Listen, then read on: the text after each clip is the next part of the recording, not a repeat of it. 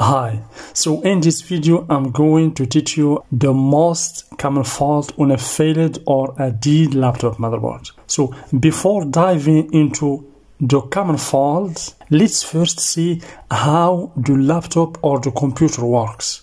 Okay, so as you can see here we have the block diagram for the computer okay? So here as you can see we have the processor. Always the first chip here means the cpu here we have the cpu as you can see. We do north bridge. So the north bridge is integrated with the cpu why? Because here we have this chip is connected with the memory as you can see. We have here ddr2 means the north bridge is connected with the cpu because the chip that is responsible for managing the memory is the north bridge, not the CPU, not the graphic card. Okay, so here we have the CPU plus the north bridge, and here we have, as you can see here, the graphic card. Okay, so this is the graphic card. Why? This is the graphic card because the connection between ch these chips is as you can see the graphic port. So the graphic port are connected to this part means this is the graphic card. So we have LVDS panel we have the CRT we have the high definition media interface HDMI okay means this is the graphic card. Then here we have the south bridge or the ICH the input output control hub that is connected to all ports as you can see and connectors in the motherboard. So how the laptop works? So basically the CPU is the main component here. Okay? It contains the brain of the CPU and the CPU as you can see is connected directly to the north bridge or integrate the north bridge. So the task here in the laptop are separated. So for example the graphic card manage and control the graphic section as you can see. The ICH manage and control the input output in the motherboard as you can see all ports and connectors. And of course we have here as you can see the keyboard controller or the super IO as you can see here this is the super IO or the super input output. This chip also controls some connectors like for example the touchpad connector the keyboard connector and the BIOS. As you can see we have here SPI ROM. This is the BIOS. Okay? So the tasks are divided. That's why the laptop works fine and without any issues and any problems okay now what i want to teach you here is that for every for every part here it has its own circuit for example let's take for example the ram the random access memory here. The RAM has its own circuit that contain an IC, MOSFETs, inductor and capacitors. Okay, so the CPU itself contains its circuit inclu that includes IC, MOSFETs, inductor and capacitors. Okay, so the, the graphic card has its circuit, the south bridge has its circuit, the keyboard controller, the fingerprint, the USB camera, all this part, each part here has its own circuit. Okay, so now when you understand that each part in the motherboard has its own circuit that contain an IC, MOSFETs or voltage regulators, and inductor and capacitors in order to filter the current. Once you understand this, we can move on and see the real schematic here on real circuit. So let's go to the first circuit. So let's take this circuit for example. This is the charge circuit where we have the charge IC and we have the two voltage regulators that will provide the necessary power to charge the battery and of course here we have the V in the power jack we have the power jack here and we have two switches so please note that all circuits in the motherboard is just are just a duplicated circuits if you understand just one circuit, you can understand and analyze any circuit in the motherboard. The working principle is the same. Always, you will find a controller like this one, a control IC, okay, the chief in the circuit, and you will find the voltage regulators, okay, and and after that you will find some secondary component that will make the signal a correct signal. For example, the inductor. The inductor, as you can see here, this is the inductor. Always it has one purpose here in the laptop motherboard. It adjusts and increases the current in order to get an enough current. You will find, of course, some capacitors like those. This is basically ceramic capacitors. You can find sometimes electrolytic capacitor that is responsible to filter the signal, to make the signal a pure signal.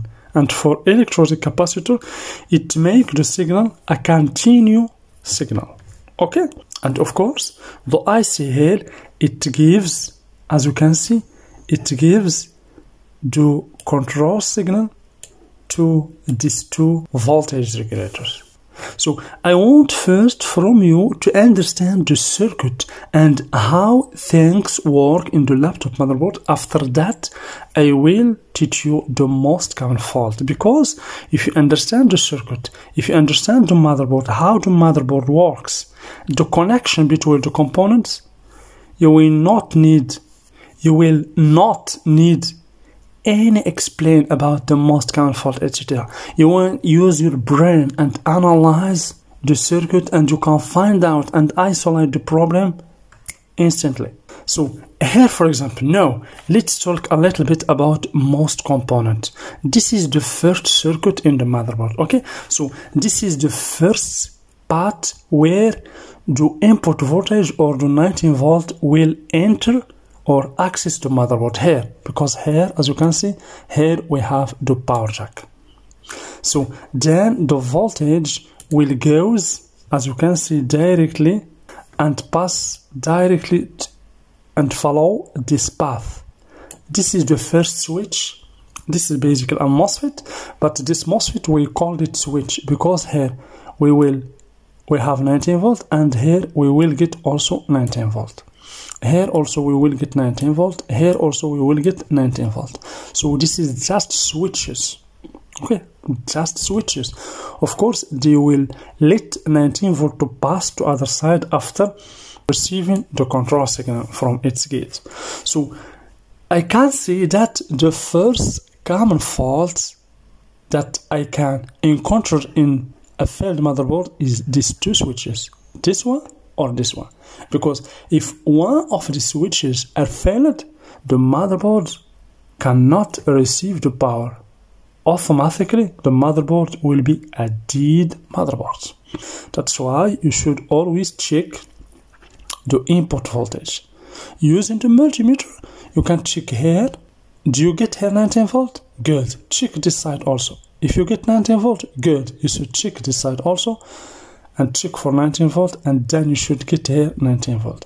If you don't get 19 volt for example here you should check whether this MOSFET received the control signal or not.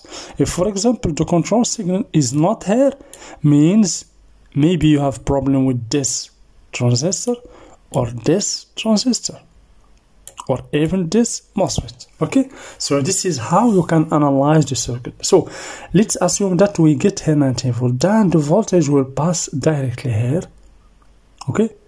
And then as you can see here we will get the plus B we will get here the plus B the 19 volt that will be distributed to the whole motherboard to all circuit of the motherboards okay? And of course this 19 volt will power also, as you can see, will power the IC. As you can see, we have AC. This is the AC in, okay? So this IC has as a purpose to control these two MOSFETs in order to generate the necessary voltage in order to charge the battery. So here in the circuit, the common fault, the component that can cause a dead motherboard are so the first one let's change the color here for example. Let's pick another color for example the black color. Okay so the probable cause of failure here are this MOSFET or switch. This one also could create a bad problem. So this IC as you can see this IC can be the cause of a failed or dead motherboard because this is zero charge IC okay?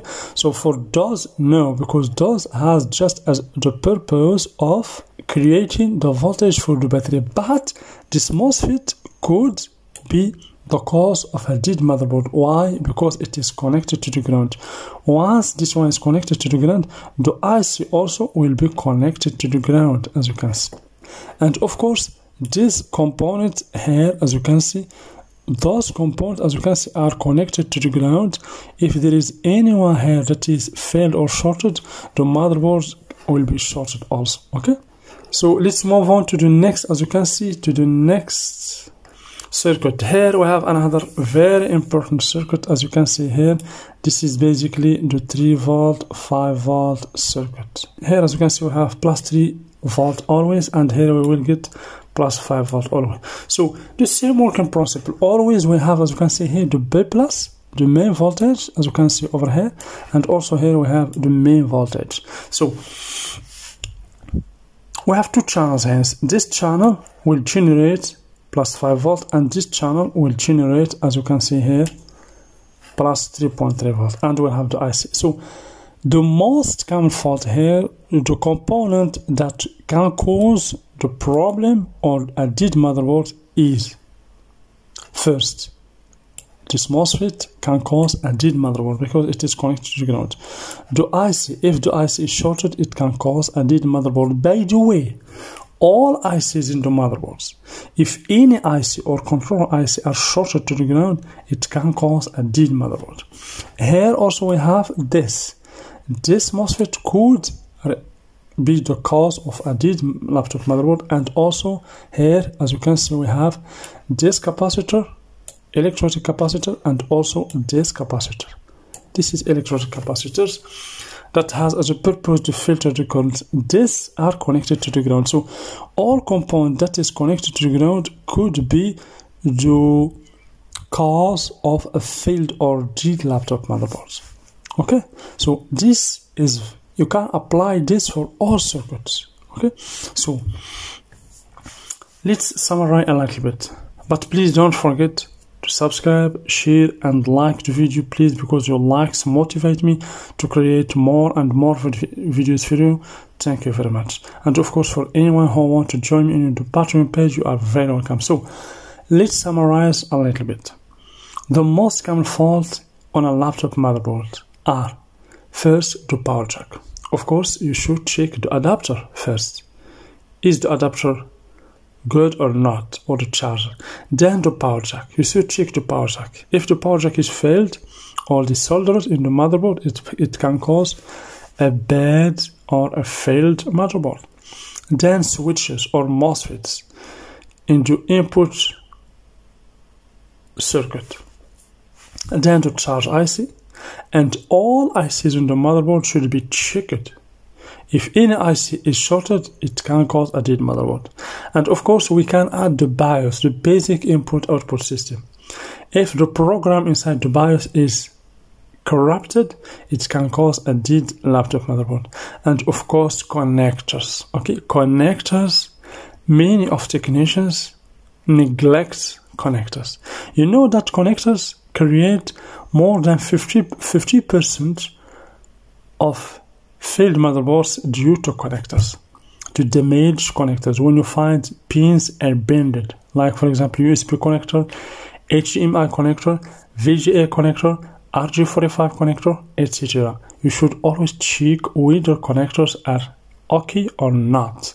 Then a bad battery a bad CMOS battery or even battery the big battery can cause a dead motherboard. That's why you should always remove the batteries. So and of course you should always check the protection component like for example diodes in the circuit. You should check diodes especially the diodes that are connected to the ground. Check also MOSFETs and capacitors. So this is basically the main thing about common faults in the motherboard. So I hope that you, that you enjoyed the video. Thank you very much and please don't forget to subscribe. Share the video for, for other papers like you and like the video because your likes motivate me to create more and more videos for you. Thank you very much and see you in the next video